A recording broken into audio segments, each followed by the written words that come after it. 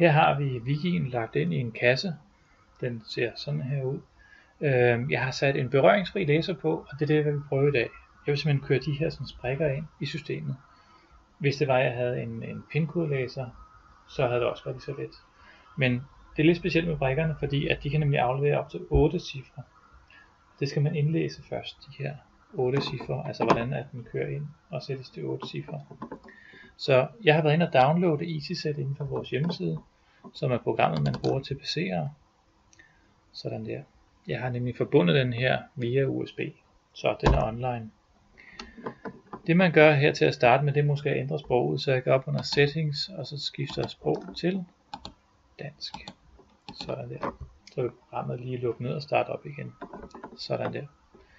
Øhm, hvis det var, jeg vidste, hvad jeg ville, så kunne jeg faktisk have siddet her og have valgt øh, wiki på listen her, og så lavede de ændringer, jeg ville, og lige nu tryk send til enheden. Så var det overstået.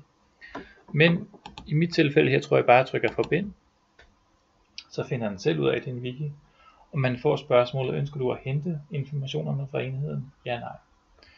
Og øh, det kan vi lige så godt. Så kan vi se, hvad den indeholder. Ja tak. Fint. Så er vi inde, og som man kan se her, der er mine, øh, mine pinkoder og brikker, de er bare listen her tom. Men før vi kan komme derover, altså at bruge vores brikker, så skal vi lige ændre noget. Vi skal over den, der digital grænseflade, og så sætte den til mode 2, og her facility code tillade. Så er vi klar. Bortset fra, jeg skal lige overføre det til den først. Så jeg går lige over på hjem og trykker send til enhed. Sådan der. Så er vi klar til at indlæse de her brikker. Og jeg siger indlæse, det er fordi, at når vi har dem forbundet på USB, så kan vi faktisk bruge læseren, der sidder her på, til at køre numrene ind. Alternativt, så kunne vi også bare tage det nummer, der sidder på brikken her, og indlæse det. Men lad os prøve en gang at bruge værktøjet, som nu er der i forvejen. Så op under værktøj og læser. Her der er to muligheder. Man kan tage den, der hedder læs kort, og man kan tage den anden. Læs kort vil bare vise nummeret på brikken, uden at gøre yderligere ved den. Nummer to felt her, der, hvis den er vinget af, så vil den automatisk lægge sig ind på vores faste pinkoder kort. Og det kan jeg lige så godt gøre, for så kan vi nemlig lægge en hel stribe af kort ind automatisk. Lad os prøve en gang. Hvis jeg tager her rækkefølge, det bliver nummer, nummer 1 det her, præsenterer den. Det er nummer 2.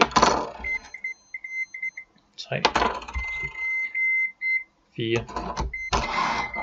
Sådan der. Så vil den så lægge sig på de fire frie pladser, der er der. Og da den min er helt tom, så vil den selvfølgelig ligge på plads nummer 1, 2, 3, 4. Hvis jeg stopper læseren, og så går under vores pinadgang, der kan man se, at de her fire brikker er nu i systemet. Men det betyder ikke, at jeg nu kan bruge min brik, og den virker. Nej, fordi det er kun på computeren pt. Så jeg skal altså under hjem, og så trykke send konfigurationsenhed. Når jeg har gjort det, så kan jeg bruge en af de her fire brikker, og jeg vil kunne gå ind og under hændelser læse hændelser på, hvad der er sket. Liv og landvejen. Hvis jeg ønsker at ændre min udgang her til at køre andet end de 5 sekunder, som er standard, så vil jeg for eksempel kunne gå over på udgang der, og den står til tidsindstillet og 5 sekunder. Hvis jeg ændrer den til låsning, så betyder det, at hver gang jeg sætter brikken på, så vil den henholdsvis lukke op, næste gang lukke i. Hvis jeg tager den, der hedder frakoblet, så er det måske fordi det er en slags ferie, og jeg ikke ønsker, at folk bruger min dør, jamen så vil jeg gå ind og frakoble udgangen herover.